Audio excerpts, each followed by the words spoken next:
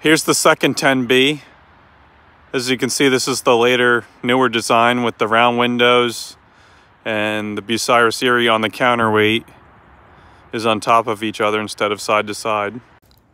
This one's got a Buda 6B 230 gas engine. So they removed the hoe bucket and they put this pick on and I guess they use this to break up the coal. Right here's the bucket trip clutch. So this machine could be set up as a shovel also.